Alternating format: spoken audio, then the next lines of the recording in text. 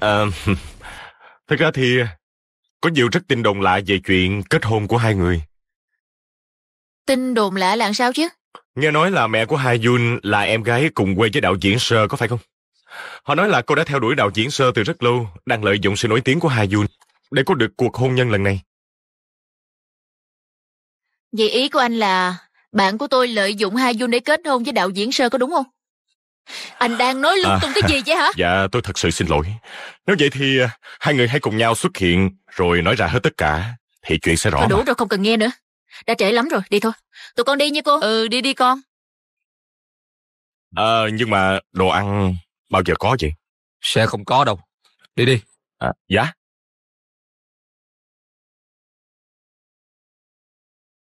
Nè nè. Ai, Chỉ là tin đồn thôi mà. Không cần quan tâm đâu. Cô bác chắc là không làm khó cậu chứ. Không có, mình ổn mà. Cũng đâu phải mình bắt đầu mà không có quyết tâm đâu chứ. Đúng rồi. Bạn của mình mạnh mẽ như vậy mới phải chứ. Cố lên nha. Cậu đã biết là mọi chuyện không hề dễ dàng mà. Lúc trước cậu đã làm rất là tốt. Hiện tại cậu còn làm tốt hơn nữa.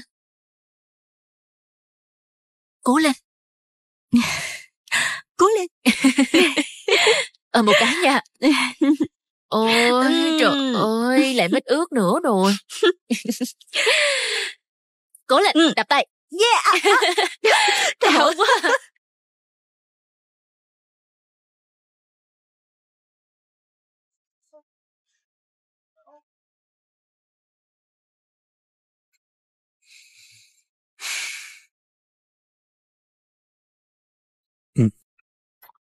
À, giờ.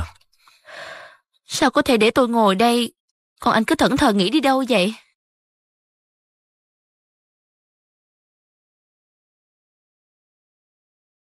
Ồ, sư chung à.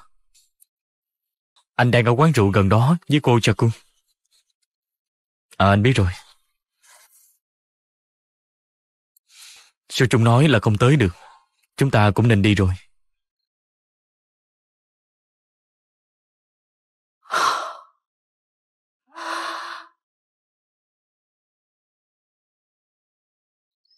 Đang ở quán rượu hả?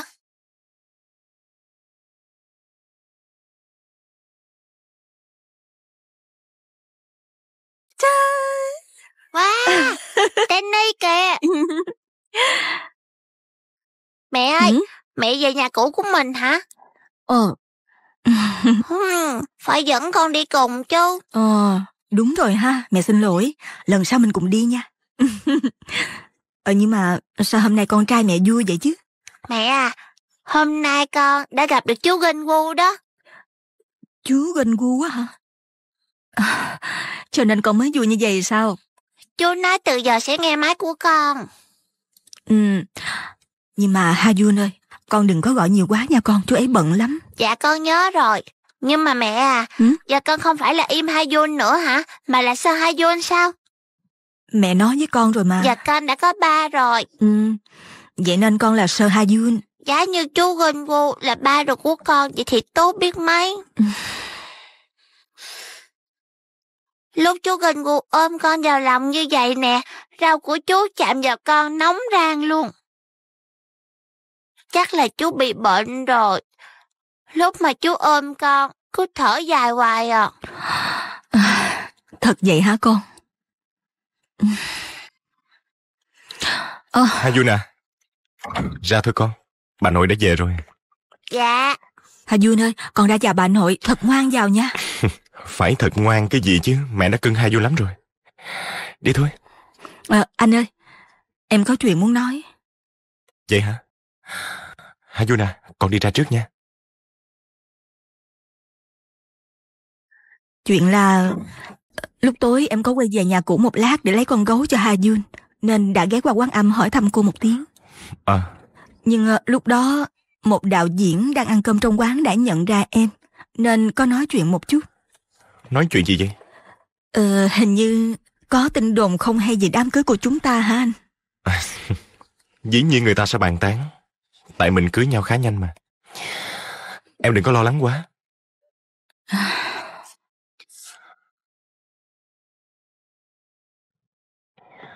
Ờ, Nè Hai Jun của bà Con ăn cái gì cùng với ba con Dạ vậy con ăn thịt cùng với salad. Ngon chứ con Dạ, con cũng thấy nhớ ba quá mẹ ơi. Kìa con. Ừ. Ba nó đâu Dạ đang nghe điện thoại. Cái cô đã ăn cùng con và chú kìa bà. Tuy là tôi chưa có con, nhưng tôi biết phải chọn cho bọn trẻ uống loại nước trái cây nguyên chất. Bởi vì một ngày nào đó tôi cũng sẽ làm mẹ thôi. Con nói cái gì Mẹ biết cô Kim Cha Cung sao hả mẹ? Không có Làm sao mẹ biết cô ta được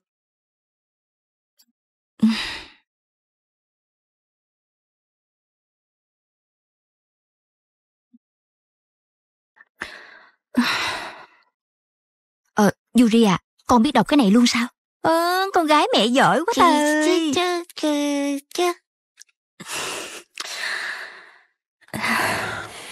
vợ chồng chúng tôi đã đồng ý rồi, nên sẽ nói chuyện với mẹ tôi.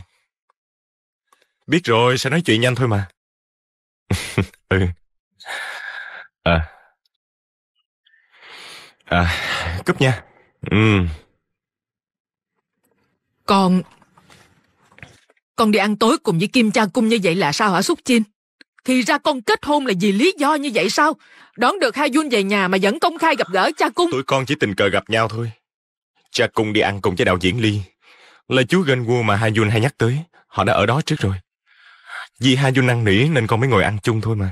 Thằng bé có đòi Nhưng mà con có thể dẫn đi chỗ khác mà Sao lại để hai đứa nó gặp nhau Gặp thì có sao đâu mẹ.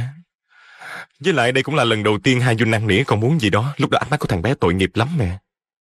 Con không có ý gì khác thiệt mà. Con đã nói với mẹ rồi.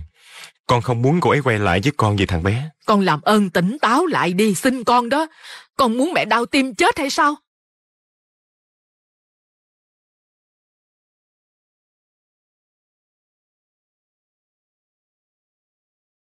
Chú cháu nói quá nhiều, quá nhiều điều. Chị giỏi quá mẹ ơi. Nhưng lại làm phiền Vậy con có muốn học như chị hay không? khác. Dạ Chú không. không biết phải làm sao Vậy thì con hết. muốn học cái gì chứ? Con muốn được học trường của cô Mi Súc. Đóng phim vui lắm đó mẹ. Trời ơi, chắc là Ha Jun của mẹ thích diễn lắm hả?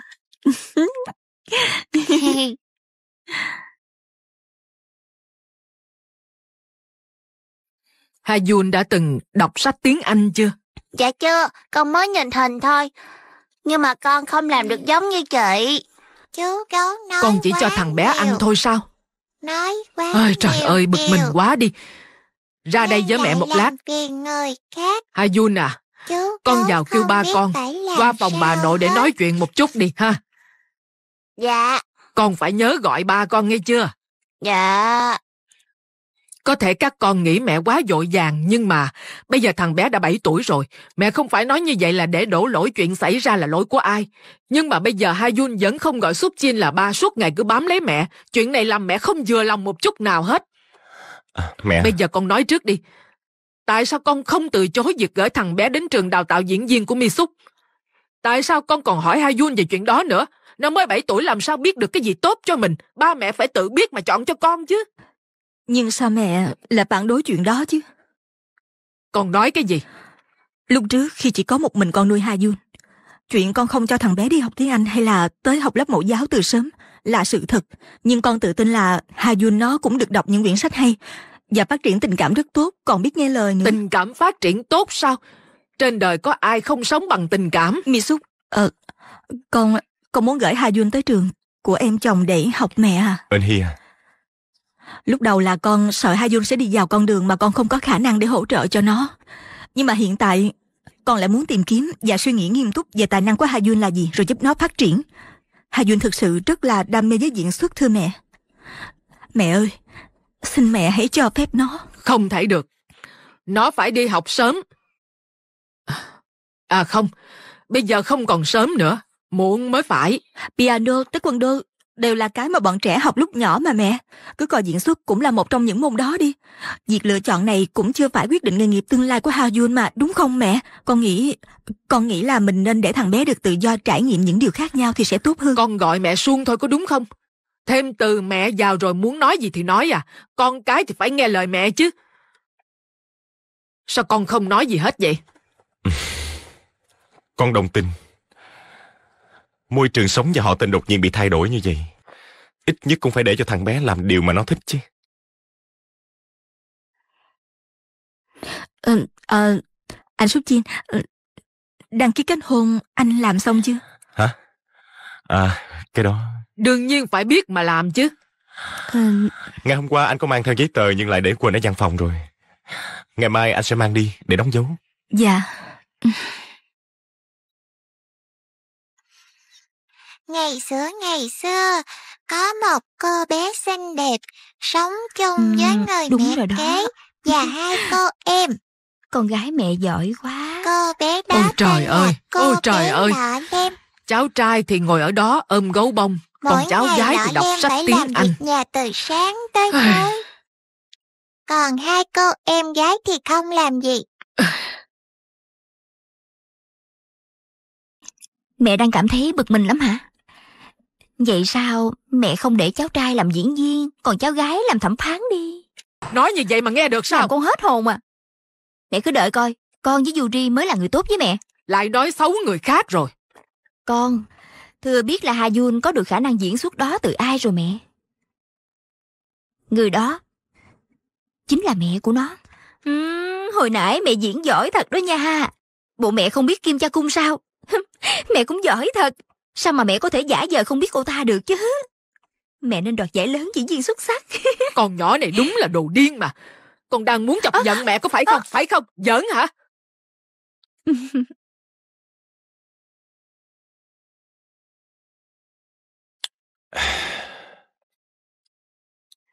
Con là Ha Jun đúng không? Im Ha Jun. Thêm nước ép trái cây. Không phải là thím. Con phải gọi là cô cha cung nha. Anh Gân Gu mau ăn đi. Ờ, dạ. Hai người thân như vậy hả? Cô rất muốn điều đó. Nhưng mà cô không biết chú Gân Gu có muốn như vậy hay không nữa.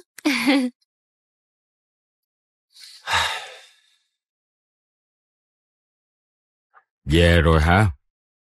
Dạ. Đi uống vài ly với ba.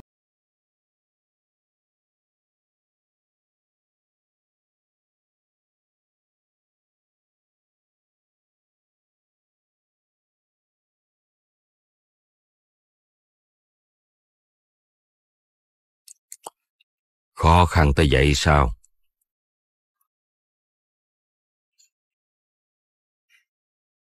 Nếu mẹ con mà còn sống thì không biết mẹ sẽ làm như thế nào. Chắc là bà ấy sẽ không kích động con vô điều kiện một cách hồ đồ như ba.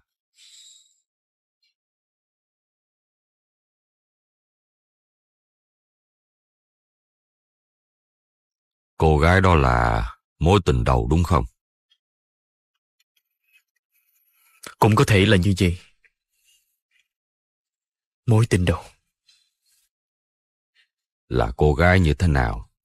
Nghe nói là cô ấy đã kết hôn rồi mà. Từ nhỏ thì ba cô ấy đã bị phá sản. Nên phải vào cô nhi viện.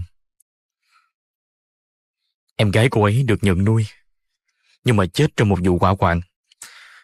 Cô ấy đã nhận nuôi một đứa trẻ. Bị bỏ rơi trước cửa nhà. Của người từng bảo trợ cho cô ấy. Chuyện đó không dễ dàng gì. Nhìn thấy cô ấy Trong lòng con cảm thấy rất dễ chịu Con thấy ấm áp Con tự rất muốn được ở bên cạnh cô ấy mãi mãi gu à? Có rất nhiều điều khiến cho con hối tiếc Con cứ nghĩ mãi về những sai lầm mà mình đã phạm phải. Ba Con cần thời gian để quên đi.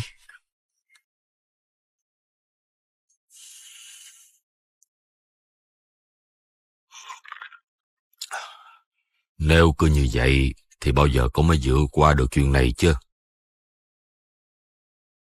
Con xin lỗi ba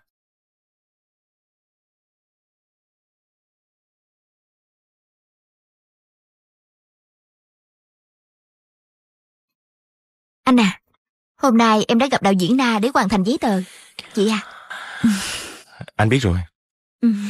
Được rồi. Anh à chị à, em có con dấu nên em sẽ đóng đủ hết cho. Nhưng mà anh đúng là ngầu thiệt đó nha. Anh không sợ mẹ sao? Sợ cái gì chứ? Sau này nghe lời mẹ là được. Chỉ trái ý mẹ thì mới có chuyện thôi. Là ai mà dám làm trái ý của mẹ vậy chứ?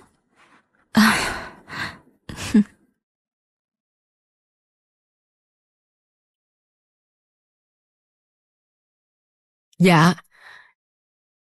Dạ đúng là như vậy. Anh nói cái gì? Chương trình nào vậy chứ?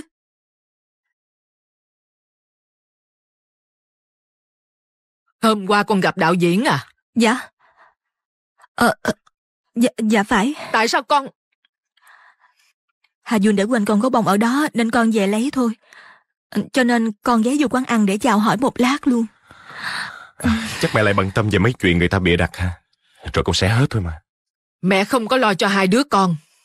Mẹ lo cho hai Jun bị dính vào những tin đồn khiến nó bị tổn thương thôi. Sao con không lo ở nhà đi? Con trai sao lại thích gấu bông tới như vậy chứ? Tại đổi chỗ ngủ nên thằng bé thấy trống trải. Mấy cái quan trọng cần dạy thì không dạy cho nó. Thật là, Ừ, con xin lỗi mẹ. từ giờ con nhất định phải ở trong nhà. Đừng đi lung tung kẻo gây tin đồn nữa đó.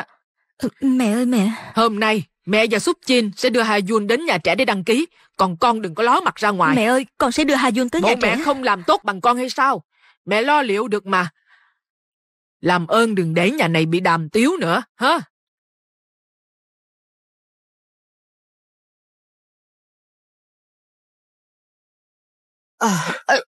Mẹ ơi, mẹ, đừng có làm nữa, sẽ gãy xương đó. À, trời ơi, Gãy đừng có đó. đụng vào mẹ, trời đất ơi. Ê, trời ơi, thiệt tình.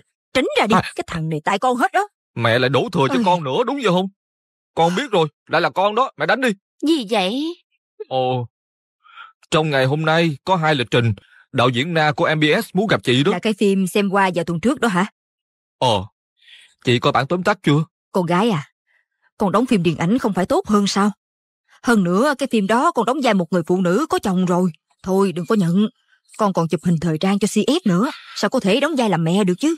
Dạ, dạ nhưng mà diễn viên nhí là Im Ha Yun. Im Ha Yun. Chú ơi, Ờ, Ha Yun à, Mấy giờ ở đâu? Không được, đừng có đi. Im Ha Yun là con trai của Súc Jin còn gì, con không được gặp. Thằng bé thân với đạo diễn Ly lắm. Cái gì? Con trai của Seo Súc Jin mà lại thân với Lee Won Gu. Bộ có bí mật gì về thân thế nó hả? Không phải, mối quan hệ giữa mẹ Im Ha Yun và đạo diễn Ly hơi kỳ lạ đó. Ôi trời, vậy sao nó còn đi kết hôn với Seo Súc Jin? Vậy cho nên hai người họ mới Ờ. cưới chớp nhoáng. Người ta nói cô ta lấy Ha Yun làm mồi. Có nhiều tin đồn lắm. Dù gì thì chị cũng đi. Tiếp theo là gì? Một buổi chụp ảnh bổ sung. Nói họ photoshop vào cũng được mà. Bộ chị là bức tường để thêm vào chắc. Nói chị sẽ tới. Chị đi tắm đây. Ừ, con thấy photoshop thêm cũng được có sao đâu. Là tại nó muốn tự làm hết mà. Ơi trời, không biết cái tính độc đoán này giống ai nữa. Chắc Ừ. chị đọc đoán giống ba, đọc tài y hệt ba luôn á. Không nói cái gì chứ. Dạ thưa đạo diễn, tôi là quản lý của Kim Cha Cung. Thời gian địa điểm ở đâu vậy?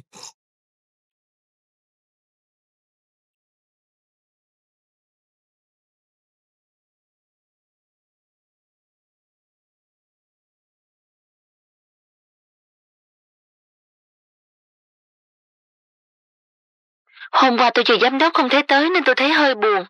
Anh Genwo bây giờ đã ổn chưa? Anh ấy đã uống rất nhiều mà.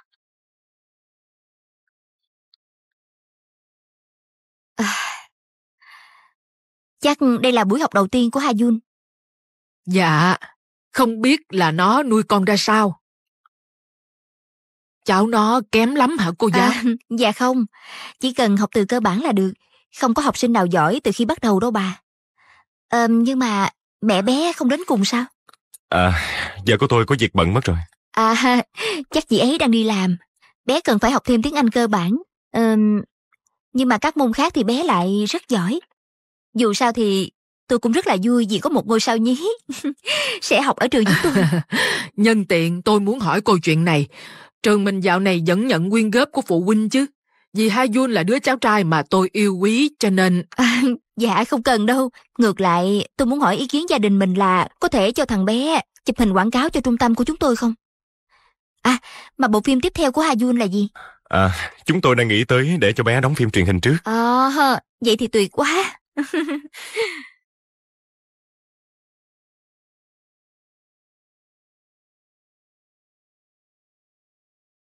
Dạ, gặp ở buổi chụp hình chiều nay nha. Gì đây? Để mình đợi cả buổi tối mà không thèm xin lỗi một tiếng gì hết. Cũng phải thôi, mấy đứa con nhà giàu ngạo mạn thiệt. Vì anh ghen gu nên mình sẽ nhịn.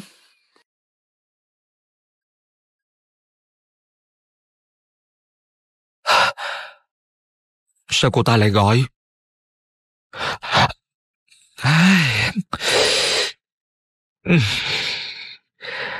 Dạ, tôi đang nghe đây.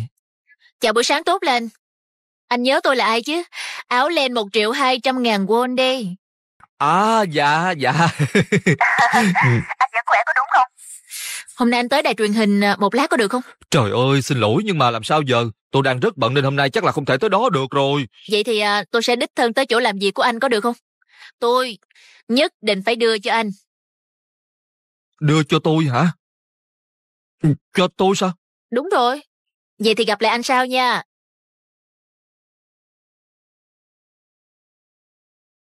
Tưởng coi thường tôi dễ lắm hả?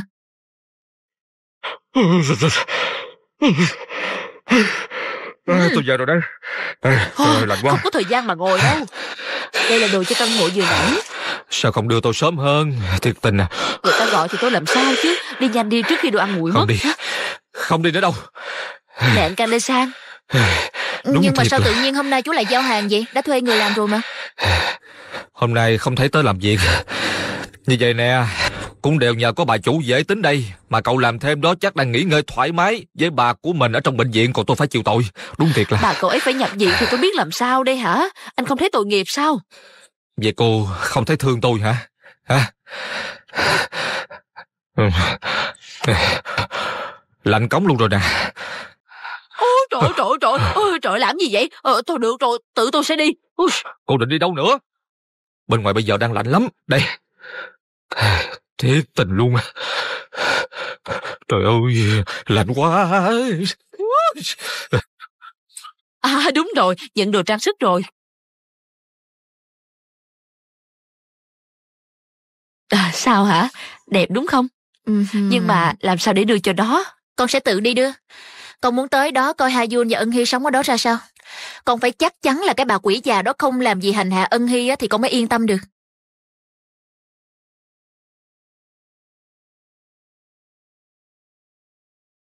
Ờ, mẹ, Lấy nước mát cho mẹ đi. ờ, dạ.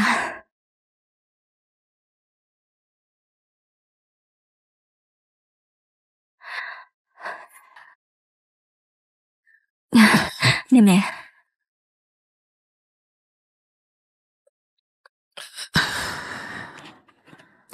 Ờ, Mẹ ơi, Hôm nay bài kiểm tra tiếng Anh của Ha Jun không ra gì hết. Bộ con chỉ biết mỗi việc lo cho nó ăn cả ngày rồi khen nó cái gì cũng tốt như vậy thôi sao? Trước đây con có dạy nó học không vậy? tiếng Anh thằng bé không tốt là vì nó học lần đầu mà mẹ. Thằng bé bẩm sinh đã giỏi hát hò với mấy trò nhảy múa rồi. Con phải tập trung dạy cho nó học mới đúng. Hôm nay đúng là xấu hổ thật mà. Con xin lỗi mẹ. Vậy là thằng bé sẽ bắt đầu học từ cơ bản hả mẹ? Gia sư sẽ đến dạy cho nó. Học cơ bản ở nhà trước rồi tới trường sau. Con trai của mẹ đầu óc thông minh biết là bao nhiêu. Vậy mà con lại nuôi hai Jun thành ra như vậy. Tất cả đều tại con. Chẳng có đầu óc học hành gì hết.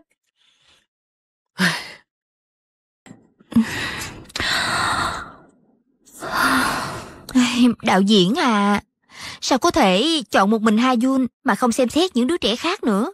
Như vậy không có công bằng. Anh là bạn của anh trai tôi mà. Những đứa trẻ khác không phải là hình tượng mà tôi muốn. Anh đừng có nói vậy mà. Cứ để các em diễn thử đi, chúng đều làm tốt mà. Chúng tôi sẽ không đề cử những em diễn kém đâu. Trường chúng tôi đào tạo diễn xuất rất có danh tiếng mà đạo diễn. Cái đó tôi biết chứ. Trên đời này Cũng có cái gọi là mua một tặng một mà. Ờ, nhưng mà nữ chính là ai vậy? À phải rồi. Diễn viên nữ nào sẽ làm gì cùng Ha Jun vậy? Anh đã quyết định chưa? Tất nhiên là có rồi. Chiều nay tôi sẽ gặp Kim Cha Cung bàn bạc. Thấy sao? Tuyệt đúng không? Ờ, nếu cô ấy đồng ý thì đúng là quá tốt rồi. Không, không được đâu. Ờ, như, à, như vậy không được đâu. Tìm người diễn cha mẹ khác đi đạo diễn à. Vẫn còn nhiều diễn viên mà. Sao phải là Kim Cha Cung? Ờ, cô làm sao vậy? Đạo diễn mới là người chọn diễn viên mà. Vậy anh của tôi có biết chuyện này chưa hả đạo diễn? Anh ấy biết thì sẽ không cho Ha Jun tham gia đâu biết chưa? Ồ, chưa biết. Ừ. Ừ. Vậy thì chúng ta đừng có cho anh ấy biết mà phải mau ký hợp đồng đi. Bây giờ ký luôn đi. Sơ Mi Súc, Sơ Ha Jun. Hôm qua tôi đã đợi cô rất lâu đó. Tôi xin lỗi chị nha. Hôm qua Ha Jun đã đi cùng ba đến ăn tối, nên chúng tôi cùng đi ăn cơm luôn. Ha Jun sao? Cô không biết hả? Hai người họ rất là thân thiết. Dù cho là cháu ruột, cũng chưa chắc được anh ấy đối xử triều mến đến như vậy. Lúc đó tôi cảm thấy cảm động lắm. Tôi đã nghĩ là anh Ngân Gu đúng là người đàn ông rất tình cảm, rất thương người. Thì ra giám đốc không biết Ha Jun rồi. Cái này là trà hoa chuông đó, dùng rất tốt vào mùa đông. Tôi cũng mua chanh Ngân Gu nữa. Thật sự cảm ơn chị nha.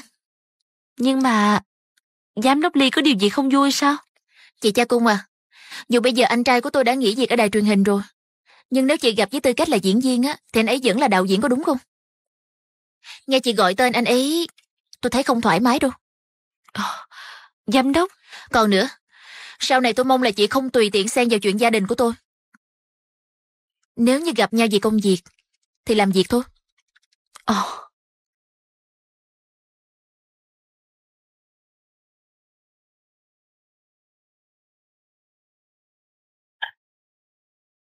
Những cái còn lại đâu rồi? Dạ, bên kia kìa.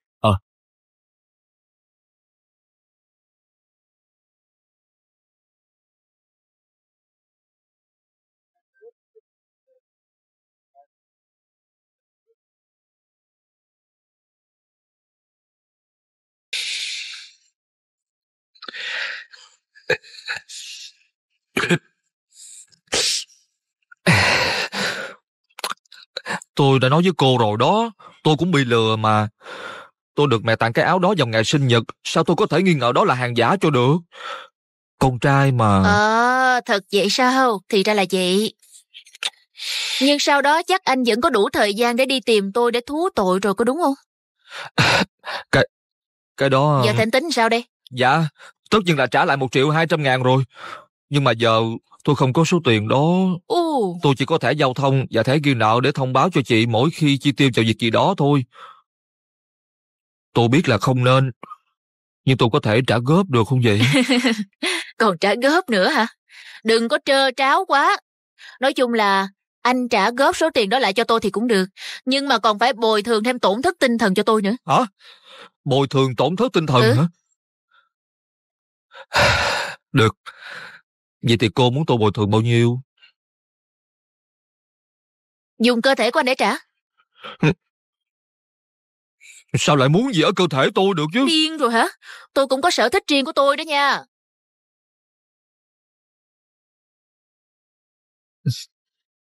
Cái này là gì vậy? Mỗi ô là 10.000 won. Sau này mỗi khi được tôi sai làm việc á, thì sẽ tùy theo sức của anh mà tích vào một ô hoặc là 10 ô nếu như tôi thấy hài lòng. Cứ vậy cho tới khi đủ 1 triệu 200 ngàn won. Đó là bồi thường về tinh thần cho tôi. Không thể như vậy được. Cách này cô lấy ở đâu ra vậy? Ngay từ đầu anh mới là người vô lý mà. Sao anh dám to tiếng khiêu khích tôi chứ? Để coi gần đây có sở cảnh sát nào không ta? Chỉ chừng này thôi cũng đủ cấu thành tội lừa đảo để cảnh sát khởi tố anh rồi đó. Tôi làm. Tôi sẽ làm. Cứ sẽ bảo những gì cô muốn đi.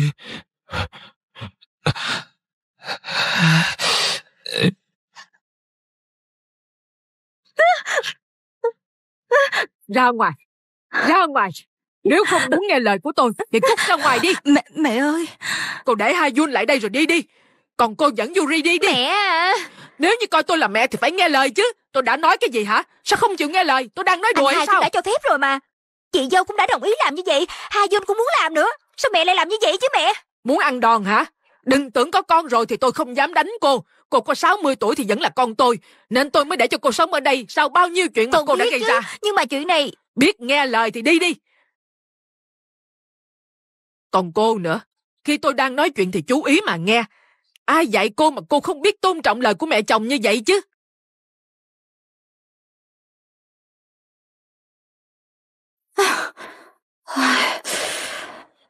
Sao chị không đáp lại lời của mẹ nói chứ Đây mới là lúc chị cần mạnh mẽ lên đó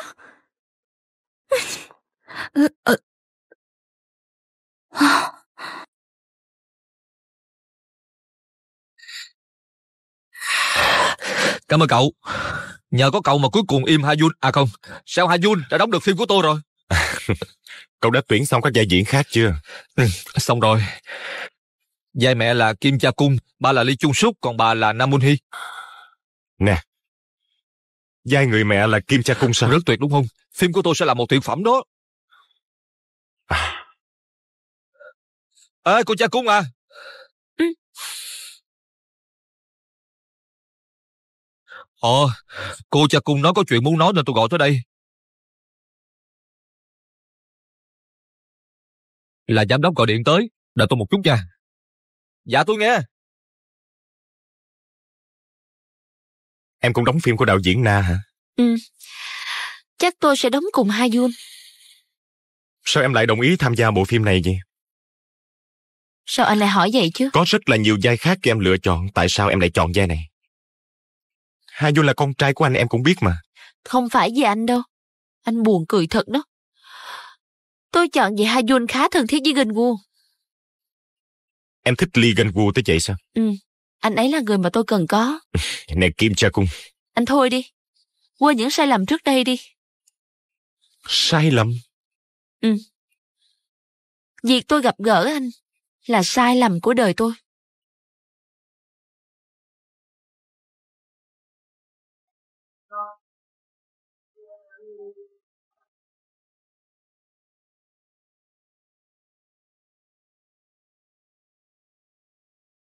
Sao anh về trễ vậy Anh ơi Hà Duyên rất muốn học ở trường diễn xuất của cô Mi Súc Nhưng mà ờ, Lúc nãy giấy tờ đã bị mẹ Này Ha Jun, Ha Jun, Ha Jun. Em không có gì ngoài Ha Jun hay sao? Anh ơi